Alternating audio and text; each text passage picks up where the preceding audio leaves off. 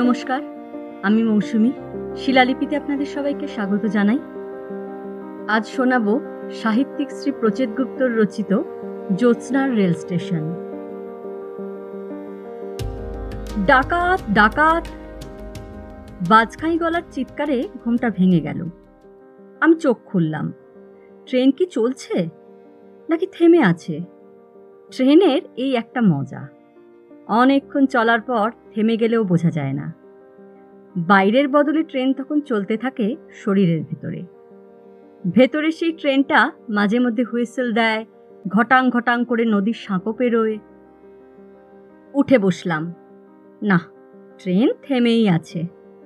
কামরা অন্ধকার, তবে একেবারে অন্ধকার নয়।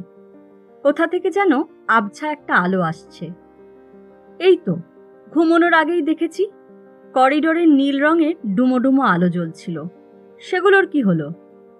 ট্রেন থামার সঙ্গে আলোও নিভে গেল? আবছা আলোটা কোথা থেকে আসছে? নিশ্চয় কোনো জানলা খোলা। আবার চিৎকার। সাবধান সকলে, খুব সাবধান। জানলা টানলা বন্ধ করে দিন। যে কোনো মুহূর্তে ডাকাত পড়তে পারে। ঝপঝপ শব্দ, আবছা আলোটাও চলে গেল। মনে হয় ভয় পেয়ে খোলা জানলাটাকেও বন্ধ করে দিল। বাহ! এবার একেবারে পুরো অন্ধকার। সত্যি, যদি ডাকাত পড়ে, তাদের খুব সুবিধে হবে। কটা বাজে? কত রাত? আমি আপার বাড়তে আছি। আমার উল্টো দিকের বাড়তে তমাল। ট্রেনে উঠেই গভীর মনোযোগ সহকারে ফুঁ দিয়ে হাওয়া বালিশ ফুলিয়েছে। তারপর চাদর টেনে শুয়ে পড়েছে। শোয়ার আগে বলল আমাকে বিরক্ত করবি না, সাগর। মেজাজ ভালো নেই। ডাকাডাকি করবি না একদম। তুই কি চাদর মুড়ি দিয়ে শুবি? তমাল ভুরুকুচকে বলে, কেন? মুড়ি দিয়ে শোবো কেন? আমি সামলে নিয়ে বললাম, না, তেমন কিছু নয়। তবে মুখ ঢেকে শুলে ভালো হয়। তোর এই প্যাঁচার মতো মুখ যত কম দেখা যায়। বেড়াতে যাওয়ার সময় বেজার মুখ দেখতে নেই। অমঙ্গল হয়। চাপা গলায় দাঁত কিরমির করে তমাল বলল, তোর কি মনে হচ্ছে? আমি বেড়াতে যাচ্ছি? তোর তাই মনে হচ্ছে? না, তমাল বেড়াতে যাচ্ছে না। ছন্দার সঙ্গে তুমুল ঝগড়ার কারণে সে গৃহত্যাগী হচ্ছে। গৃহত্যাগী না বলে কলকাতা ত্যাগী বলাই উচিত। তবে পাকাপাকিভাবে নয়। আপাতত অফিস থেকে দিন দশেকের ছুটি নিয়েছে। তবে গৃহত্যাগের মুখে দাঁড়িয়ে সে একটা গুরুত্বপূর্ণ সিদ্ধান্ত নিয়েছে। সেই সিদ্ধান্তের সময় আমি ছিলাম তার সঙ্গে। সেদিন ওর পাশে বসে ওর পয়সাতেই চা খাচ্ছিলাম। নিয়ম হলো, খিদের সময় চা খেলে খিদে মরে দরকচা মেরে যায়। তবে আমার ক্ষেত্রে দেখেছি, বেশিরভাগ সময় নিয়ম ফেল মারে। সেদিনও চায়ের নিয়ম ফেল মারল। যত চা খেতে লাগলাম, আমার তত খিদে বাড়তে লাগল। বুঝতে পারলাম সলিড কিছু খেতে হবে। পকেটের যা অবস্থা, তাতে সলিড কিছু হবে না। এই টানাটানির সময়গুলোতে তমালি আমার ভরসা। চায়ের কাপ নামিয়ে রেখে উদাস মুখে তমাল বলল, ধুস, যদি দশ দিন পরেও মন মেজাজ ঠিক না হয়, তাহলে ভাবছি আর ফিরবই না। এখানে থেকে কোনো লাভ নেই। কেউ শালা দামই দিল না। আমি তলানির চাটুকুও চুমুক মারলাম। বললাম, খুবই ভালো সিদ্ধান্ত। তোর বাইরে কোথাও থেকে যাওয়া উচিত। যেখানে কেউ দাম দেয় না, সেখানে তুই থাকবি কেন? আমি একটা সামান্য, বেকার, ফালতু ধরনের ছেলে, তবু দাম না দিলে থাকি না। এই যেমন, তুই কাছাকাছি একটা কোনো খাবার হোটেলে আমাকে নিয়ে যাবি। আমি সেখানে পেট পুড়ে লাঞ্চ সারবো এবং তুই দাম দিবি। দাম দিবি বলেই না আমি তোর সঙ্গে থাকব। তমাল ফোঁস করে একটা নিঃশ্বাস ফেলে বলল, রসিকতা করছিস, সাগর। একটা বন্ধু বাড়ি ছেড়ে চলে যাচ্ছে। আর তুই রসিকতা করছিস? না, ছেলেটার অবস্থা মনে হচ্ছে সত্যি খুবই খারাপ। ছন্দার সঙ্গে তার ঝগড়া নতুন কোনো ঘটনা নয়। গত তিন বছর ধরে এই কাণ্ড চলছে। প্রতি মাসে দুজনের কমপক্ষে ছবার করে ঝগড়া হয়। তার মধ্যে কয়েকটা থাকে মারাত্মক ধরনের। একেবারে সম্পর্ক ছাড়াছাড়ি পর্যন্ত ঘটনা গড়ায়। যে যার পথ দেখে। এবারেরটা মনে হচ্ছে সেই মারাত্মকেরও বেশি। তমাল কলকাতা ছেড়ে পালাচ্ছে কেন? ছন্দা কি মারধরের হুমকি দিয়েছে? দিলে খারাপ করেনি? বিয়ে থার আগে সব মেয়েরই উচিত। সুযোগ থাকলে হবু বরকে আগাম দু এক ঘা দিয়ে রাখা। এতে পরের দিকে সহজে কন্ট্রোলে রাখা যায়। যাক, আমার এসবের মধ্যে থেকে লাভ নেই। ওদের মারধর, ওদের ভালোবাসা, ওরা নিজেরা বুঝুককে। আমার এখন খিদে পেয়েছে। গম্ভীর হয়ে বললাম, হুম, রসিকতা করছি। সম্প্রতি আমেরিকার কোনো একটা বিশ্ববিদ্যালয় যেন খিদে এবং রসিকতা নিয়ে বড় ধরনের কাজ করেছে। দীর্ঘ গবেষণার পর তারা জানতে পেরেছে, খিদের সঙ্গে খাবার ছাড়া একমাত্র মোকাবিলা করতে পারে হাসি ঠাট্টা। তমাল, তুই যদি মনে করিস, এই সিদ্ধান্ত আকাশ থেকে নেওয়া হয়েছে, তাহলে খুবই ভুল করবি। আফ্রিকার কয়েকটা দুর্ভিক্ষ পীড়িত এলাকার মোট সাতশো বাইশ জনের ওপর দীর্ঘ তিন বছর ধরে নিবিড় পরীক্ষা চালানো হয়েছিল। অভুক্ত মানুষকে রুটিন করে জোকস এবং হাসির গল্প শোনানো হয়েছে। সকালে এক ঘণ্টা, বিকেলে চল্লিশ মিনিট। সেই পরীক্ষার ফলাফল শুনলে তুই হাঁ হয়ে যাবি তমাল। খেতে না পাওয়া হাড় গিলে মানুষগুলো হাসতে হাসতে নাকি একেবারে কেলেঙ্কারি কাণ্ড বাঁধিয়েছে। কেঁদে কেটে একসা তমাল অবাক হয়ে বলল, কেঁদে কেটে কেন? এই তো বললি হাসি। বললি না? আমি বিজ্ঞের মতো হেসে বললাম, ওরে, এই কান্না কি আর সেই কান্না রে গাধা? এ হলো গিয়ে তোর আনন্দের কান্না। খিদে ভুলে যাওয়ার আনন্দ। ওদের প্রত্যেকের চোখের জল কালেক্ট করে ল্যাবরেটরিতে টেস্ট করা হয়েছিল। দেখা গেছে সব অশ্রুই হলো আনন্দাশ্রু। আমি সেই কারণেই রসিকতা করছি। তুই গৃহত্যাগী হওয়ার আগে আমাকে একটা হাসির বই প্রেজেন্ট করে যাস তো। মোটা দাগের কোনো জোকস হলে ভালো হয়। হাসতে হাসতে যেন পেটে খিল ধরে যায়। আমার আর্থিক অবস্থা যেরকম চলছে, তাতে সামনের কয়েকদিন মনে হচ্ছে শুধু হাসি ঠাট্টার মধ্যেই থাকতে হবে। তুই গৃহত্যাগ করছিস মানে আরও বিপদ? তমাল মাথা নামিয়ে বলল, চল, কোথায় খাবি? গোটা খাওয়ার পিরিয়ডটায় তমাল মুখটাকে হাড়ির মতো করে রাখল আর মাঝে মধ্যে বিড়বিড় করতে লাগল। মনে হয় নিজের মনেই ছন্দার সঙ্গে ঝগড়া করছিল। কিন্তু খাওয়ালো খুব যত্ন করে। পাবদা মাছটা তো অতি চমৎকার। তমাল জোর করে দুটো দিতে বলল, শেষ পাতে আমের চাটনি আর দই। আমি সামান্য একটা মানুষ, এত যত্ন পেলে লজ্জা করে। চোখে জল এসে যায়। একেই সম্ভবত বলে আনন্দাশ্রু। আমি নিজেকে সামলে ঢেকুর তুললাম। বেশ একটা সাধু সাধু ভাব করে বললাম, বৎস, আমি তোমার ব্যবহারে সন্তুষ্ট, অতি সন্তুষ্ট। এবার বলো, আমি তোমার কি উপকার করতে পারি? তমাল ফট করে বলল, সাগর, আমার সঙ্গে যাবি? আমি চমকে উঠলাম, ছেলেটা বলে কি? আমি? আমি কেন গৃহত্যাগ করব তমাল? আমার প্রেমও নেই, গৃহও নেই। ভাড়া বাড়িতে থাকি, তিন মাসের ভাড়া বাকি। যে কোনো সময় ওরাই আমাকে ত্যাগ করবে। বাজে কথা রাখ। আমার মেজাজের যা অবস্থা, তাতে মনে হচ্ছে একলা যাওয়াটা রিস্কের হয়ে যাচ্ছে। শুনেছি এই সময়টা সুইসাইডের দিকে একটা ঝোঁক আসে। ট্রেন ফ্রেন থেকে ঝাঁপ না দিয়ে বসি। সঙ্গে পাহারার জন্য একজনের থাকা দরকার। তুই আমাকে চোখে চোখে রাখবি। খরচ টরচ সব আমার। তাছাড়া তোর তো সুবিধেই হলো। কটা দিন খাওয়া টাওয়া নিয়ে চিন্তা করতে হবে না? গৃহত্যাগীর পাহারাদার। বাহ, চাকরিটা বেশ তো।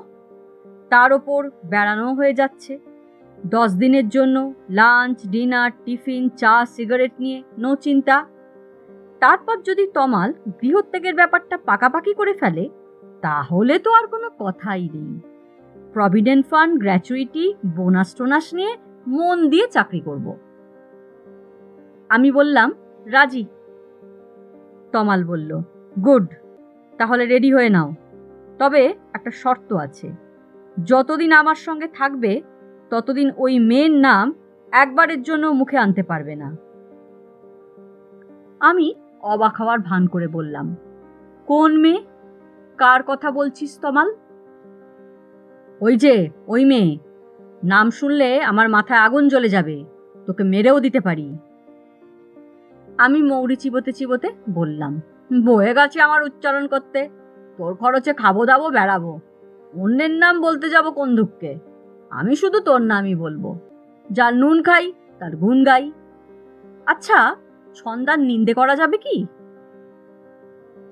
তমাল কড়া চোখে তাকিয়ে বলল, নিন্দে, প্রশংসা কিচ্ছু করতে হবে না। সাগর, তুই কি জানতে চাস আমরা কোথায় যাচ্ছি? আমি একটা দার্শনিক দার্শনিক ভাব করে বললাম, না, জানতে চাই না। গৃহত্যাগের কোনো ঠিকানা থাকে না। কুড়িটা টাকা দে তো। তমাল চলে যাওয়ার পরই আমি ঠিক করলাম, কুড়ি টাকার ফুল কিনব। কিনে ছন্দার অফিসে যাব। ওর হাতে ফুল তুলে দেব। ও অবাক হয়ে বলবে, ফুল এনেছেন কেন? নিশ্চয়ই কোনো মতলব আছে? আমি হেসে বলব, তুমি এত বড় একটা কাজ করেছ, শুধু হাতে ধন্যবাদ দেওয়া যায় না, সেই জন্য ফুল এনেছি।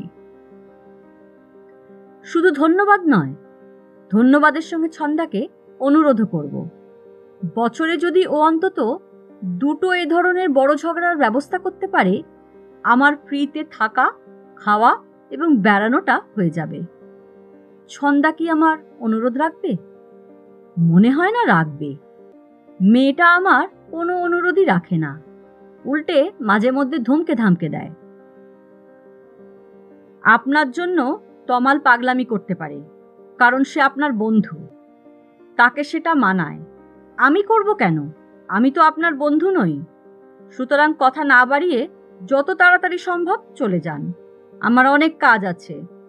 আর হ্যাঁ যাওয়ার আগে এই প্যাকেটটা দয়া করে নিয়ে যাবেন। এটাই আপনার জন্য একটা জামা আছে। রং পছন্দ হলে পরবেন, না হলে ফেলে দেবেন। তবে দয়া করে আমাকে দেখাতে আসবেন না। এই মেয়ে আমার অনুরোধ কেন রাখবে? আশ্চর্য, ছন্দা সেদিন আমার অনুরোধ রাখল।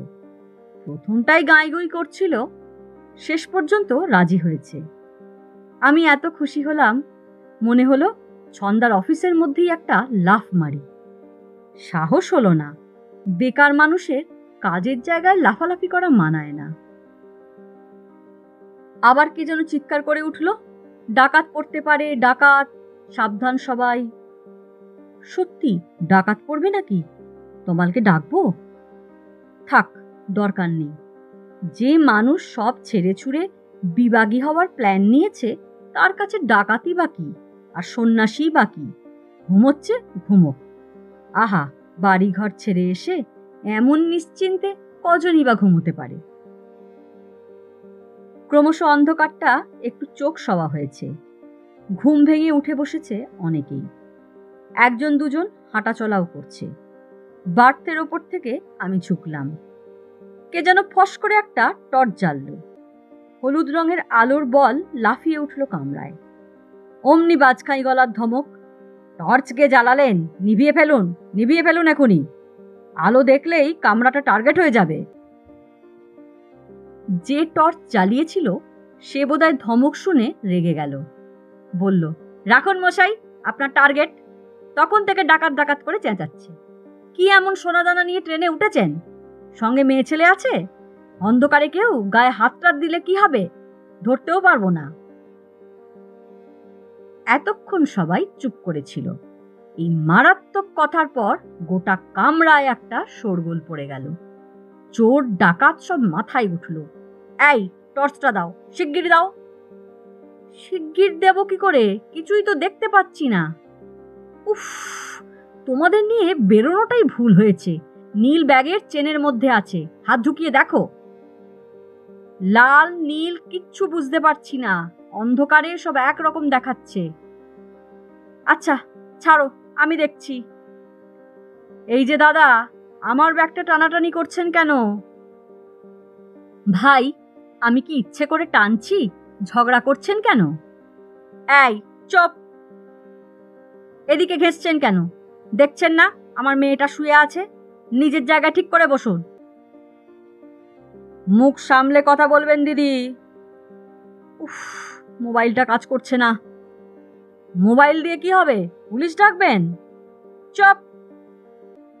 ও টিকিট চেকার দাদা, আপনি কোথায় গেলেন? কোথায় আর যাবে? নেমে জঙ্গলের মধ্যে হাঁটা মেরেছে। বলতে বলতে ঝপাঝপ অনেকগুলো টর্চ জ্বলে উঠেছে। ওদিকে কে যেন একটা মোমবাতিও জ্বেলেছে। আমার নিজের কোনো আলো নেই, না টর্চ, না মোমবাতি। তাতে এখন আর কোনো অসুবিধে নেই। অন্যের আলোতেই আমার কাজ চলবে। আমি নেমে এলাম। বাঙ্কের তলা হাতরে পায়ে চটি গলালাম।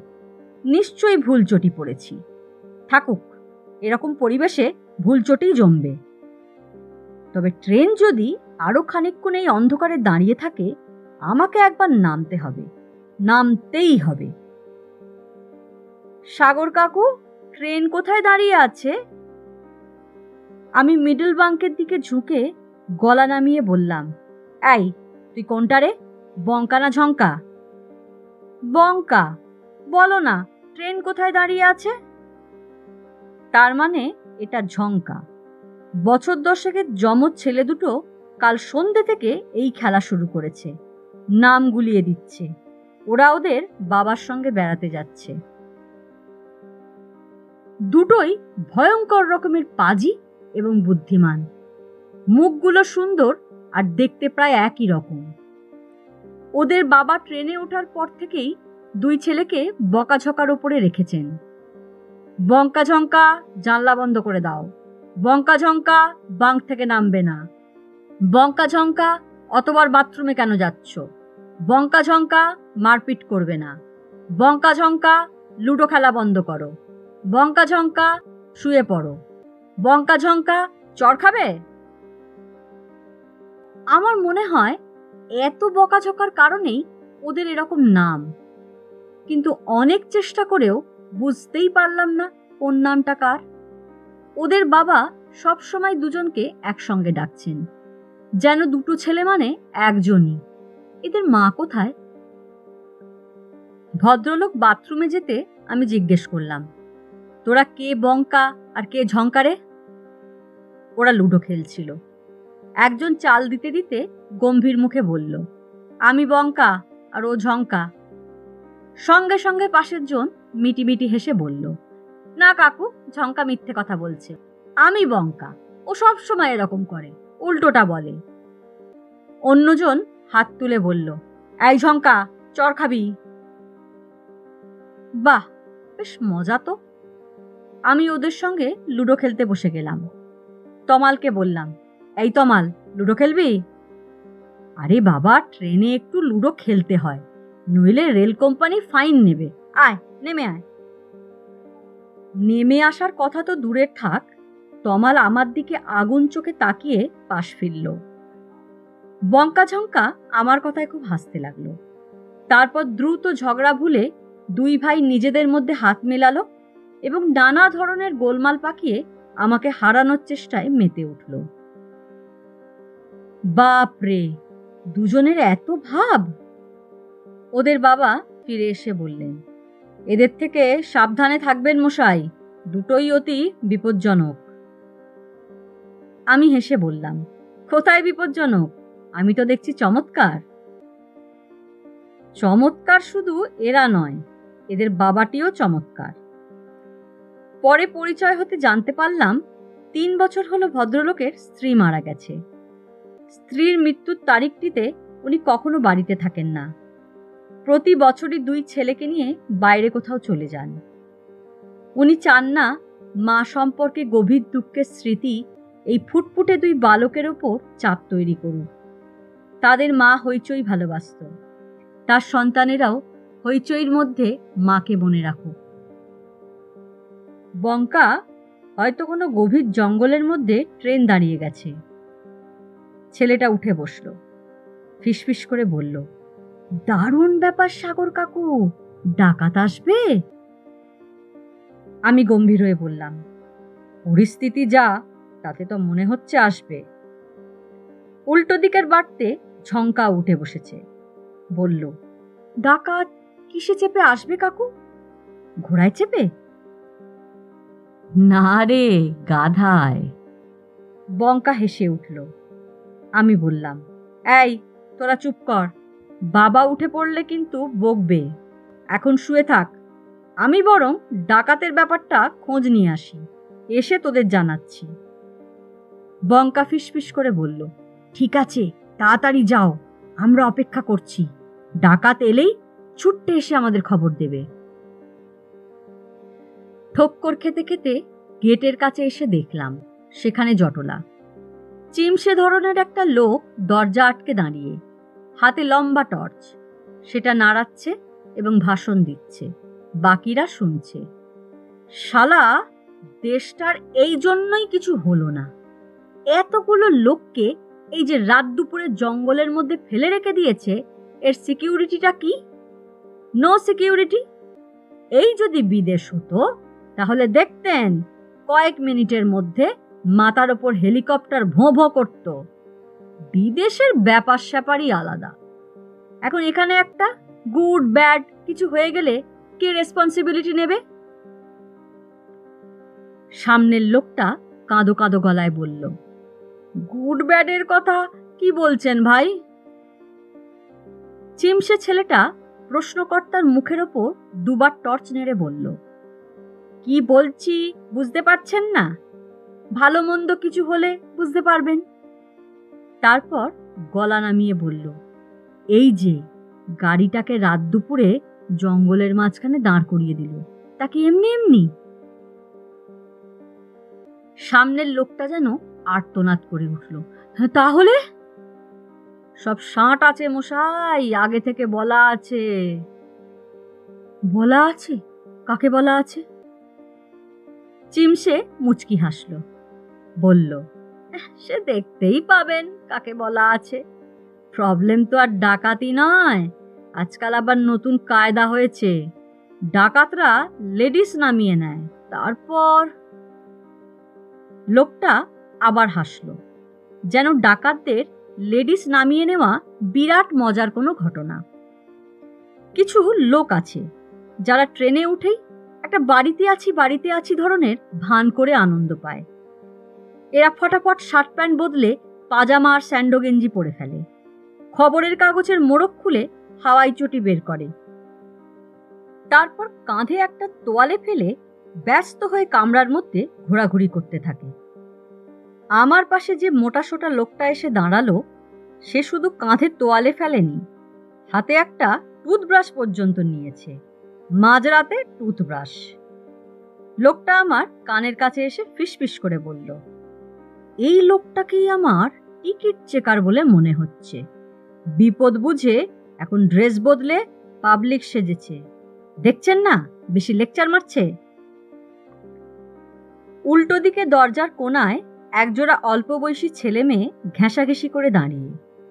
মনে হয় সদ্য বিয়ে করে হানিমুনে বেরিয়েছে। শুনতে পেলাম। মেয়েটা ফিসফিস করে বলছে, তখনই বললাম, এসি কোচের টিকিট কাটো। সবটাতে তোমার কিপটেমি। এসি কোচে সিকিউরিটি অনেক বেশি।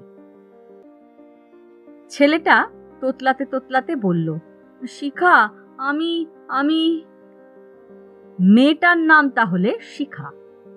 শিখা চাপা গলায় বলল, এখন হাঁদার মতো আমি আমি করতে হবে না। এখন যখন ডাকাতরা এসে আমাকে নামিয়ে নিয়ে যাবে, আমি কিন্তু হাসতে হাসতে চলে যাব, বুঝবে ঠেলা। আর চোখে দেখলাম ছেলেটা মেয়েটার দিকে আরও সরে এসেছে। অন্ধকারে দেখা যাচ্ছে না। তবে আমি নিশ্চিত সে এবার স্ত্রীর একটা হাতও ধরে ফেলেছে।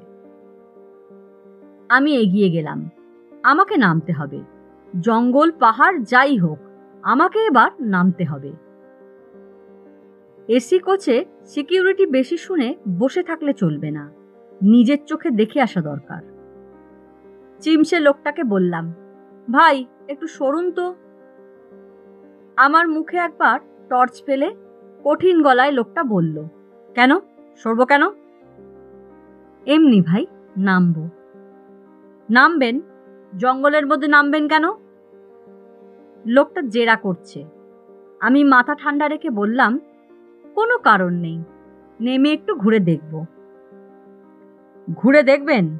এটা কি দার্জিলিংয়ের ম্যাল না পুরীর সি বিচ যে ঘুরে দেখবেন? শান্ত গলায় বললাম, তার থেকেও তো ভালো কিছু হতে পারে। নিন, সরুন এবার, দরজা খুলব। লোকটা এবার পা নাচিয়ে, চোখ নাচিয়ে বলল, দুঃখিত, দরজাটা তো খোলা যাবে না।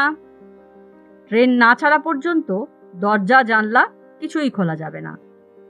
তারপর অন্যদের দিকে তাকিয়ে বলল, বুঝলেন দাদা, ভেতরে ওদের লোক থাকে, দরজা খুলে দেয়। আমার রাগ বাড়াচ্ছে, একে এখনই একটা শাস্তি দেওয়া দরকার। চিমসেটা এবার সোজা হয়ে বলল, এই যে ভাই আপনি কোথায় যাচ্ছেন? কত পর্যন্ত টিকিট কাটা? নির্লিপ্ত ভঙ্গিতে বললাম, জানি না। জানি না মানে? লোকটা মুখ ঘুরিয়ে বাকিদের দিকে তাকালো। আমি অল্প হেসে বললাম, জানি না মানে? জানি না। তবে এটা জানি, আপনি টর্চটা নিয়ে অসভ্যতা করছেন। অনেকক্ষণ ধরে ব্যাপারটা লক্ষ্য করছি। অসভ্যতা? অসভ্যতা করছি? লোকটা প্রায় তেরে এলো। আমি একই রকম শান্ত গলায় বললাম, আপনি ইচ্ছে করে বারবার ওই মেয়েটির গায়ে আলো ফেলছেন। মেয়েদের গায়ে ইচ্ছে করে আলো ফেলা একটা বিরাট অসভ্যতা। ভাই, এটা আর করবেন না। ওই মেয়েটির নাম কি আপনি জানেন? ওর নাম শিখা। অন্য কোনো নামের মেয়ে হলে অসুবিধে ছিল না। কিন্তু আপনি বোধহয় জানেন না শিখা নামের মেয়েরা ডেঞ্জারাস হয়।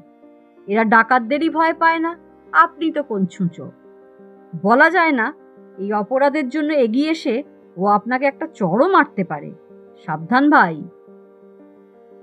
ছেলেটা কেমন হতমত খেয়ে গেছে। বাকিরাও চুপ। এমন সময় একটা অদ্ভুত কাণ্ড ঘটল। উল্টো দিক থেকে শিখা নামের মেয়েটি সত্যি সত্যি এগিয়ে এলো। এগিয়ে এসে বলল এই যে ছোকরা, শোনো, আমিও তখন থেকে দেখছি। আমি হাতল ঘুরিয়ে দরজা খুললাম এবং ট্রেন থেকে নেমে পড়লাম। নামতে গিয়ে বুঝতে পারলাম মাটিটা অনেক নিচে। ছোট্ট একটা লাফ দিতে হলো। আরে, কোথায় জঙ্গল? ডাকাতি বা কোথায়? এ তো একটা স্টেশন। ছোট্ট একটা স্টেশন। আলগোছে পড়ে আছে। ফটফটে জ্যোৎস্নায় যেন নিকোনো। অল্প হাওয়ায় গা এলিয়ে স্টেশন ঘুমিয়ে রয়েছে। ইট বাঁধানো এক ফালি প্ল্যাটফর্ম। সেই প্ল্যাটফর্মের ওপরই ঝাপসা ঝাপসা গাছ। গাছের তলায় বাঁধানো বেঞ্চ। ঝকঝকে চাঁদের আলো আর অন্ধকার মাখামাখি হয়ে তারা দাঁড়িয়ে আছে। হঠাৎ দেখে মনে হচ্ছে সেজে গুজে অপেক্ষা করছে। যদি কেউ আসে? আশেপাশে কেউ কোথাও নেই। সাহস করে ট্রেন থেকে একজনও নামেনি। ভালোই হয়েছে। এখানে মানুষ মানায় না। কতকগুলো রেল স্টেশন রয়েছে। যেখানে ভুল না করলে ট্রেন কখনো দাঁড়ায় না। চলন্ত ট্রেনের জানলা থেকে এদের সঙ্গে দেখা হয়। খুব অল্পক্ষণের দেখা। হাত নাড়ার আগেই ফুরিয়ে যায়। মনে হয়, আহা, এখানে একটু নামতে পারলে বেশ হতো। কখনোই সে সুযোগ হয় না। আজ আমার হয়েছে। এটা সেরকমই একটা ট্রেন না দাঁড়ানো স্টেশন। ইস, এতক্ষণ ট্রেনটা দাঁড়িয়ে রইল।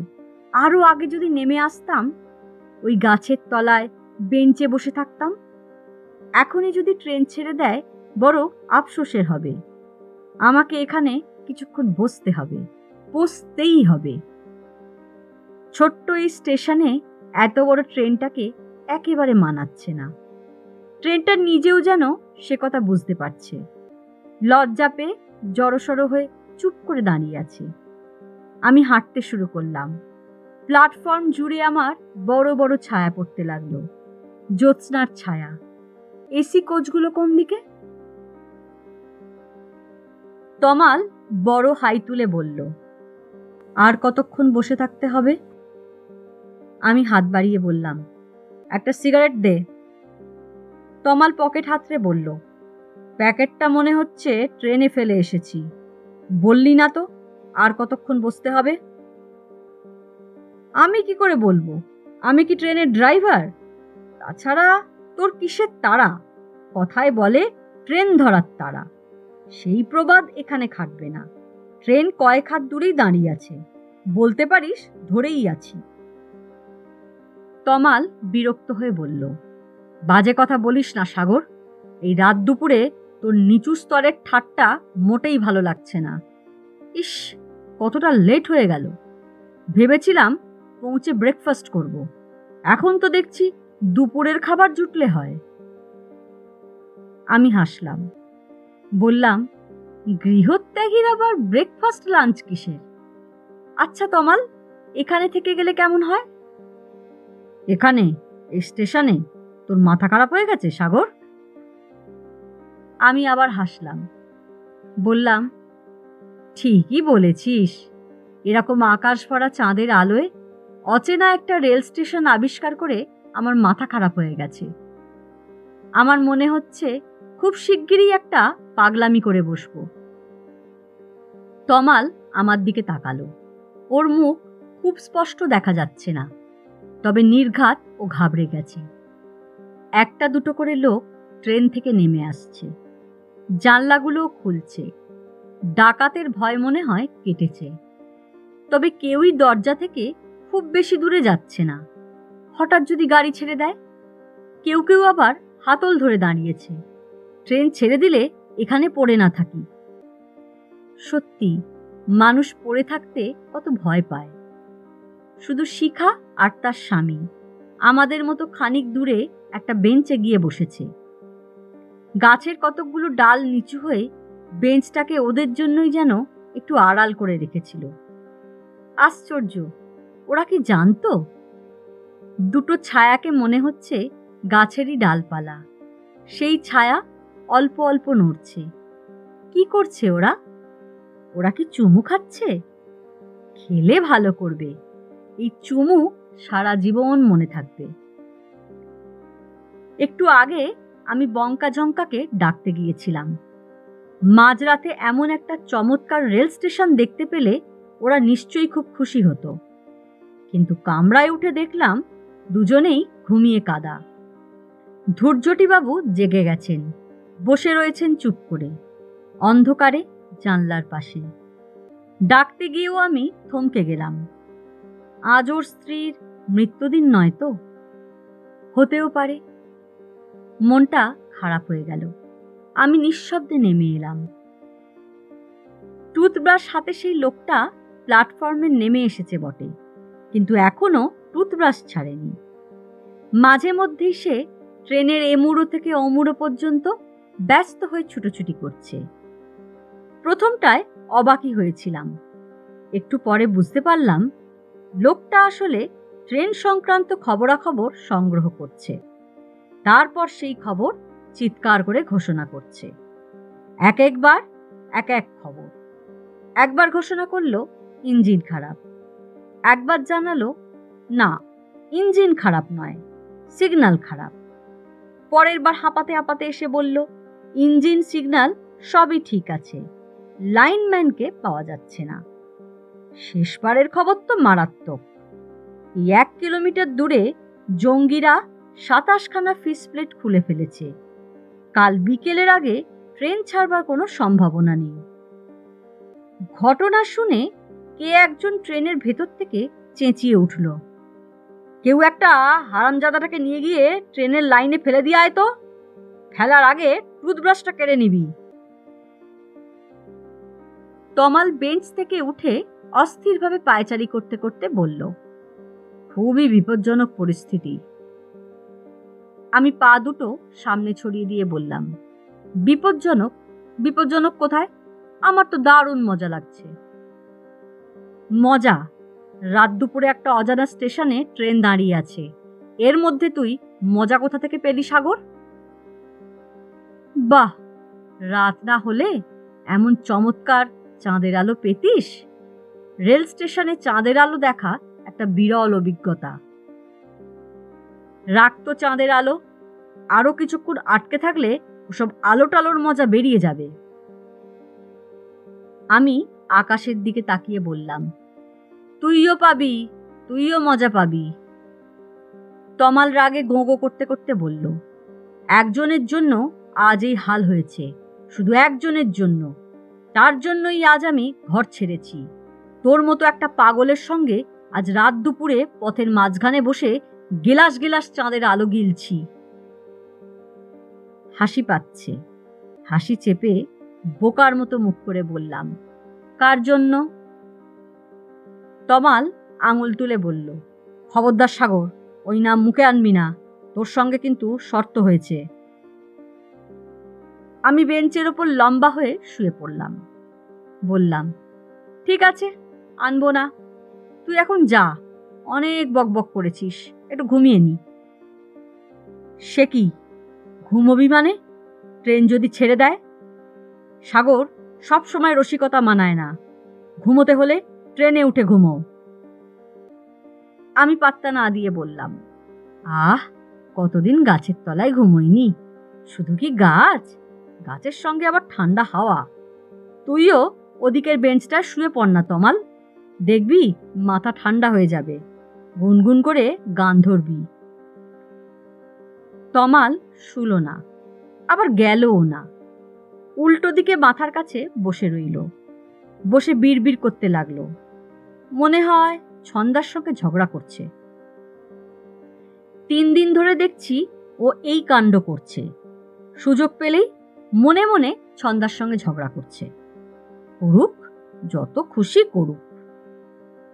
রাত দুপুরে চাঁদের আলো মাখা গাছের তলায় বসে প্রেমিকের সঙ্গে ঝগড়া করলেও মন ভালো হয়ে যায়। তোমালেরও হবে। বাকিটুকু আমি করে দেব। সেদিন খিদের সময় তমাল আমাকে খাইয়েছে। খাইয়েছে বড় কথা নয়, অনেকেই খাওয়ায়। কিন্তু অমন যত্ন করে?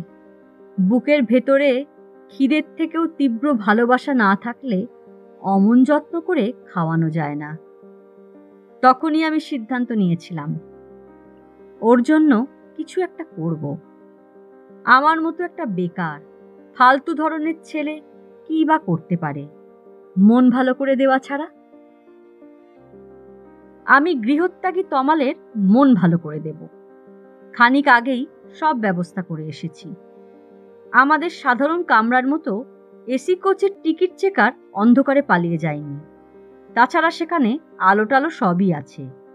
চেকার মানুষটা খারাপ নয়, রসবোধ আছে। আমি বললাম, আপনাকে বলতাম না দাদা, প্ল্যান অন্যরকম ছিল। যা ঘটবার কাল সকালেই ঘটত।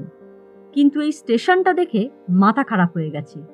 বিশ্বাস না হলে আপনি একটিবারের জন্য নেমে দেখুন। আচ্ছা নামতে হবে না। কান পাতলেই একটা শো শো আওয়াজ শুনতে পাবেন। বাঁধ ভাঙার আওয়াজ। বাইরে আজ চাঁদের হাসির বাঁধ ভেঙেছে। কপালের ওপর চশমা তুলে মানুষটা বলল, ভাইয়ের মনে হচ্ছে কবিতার অসুখ আছে।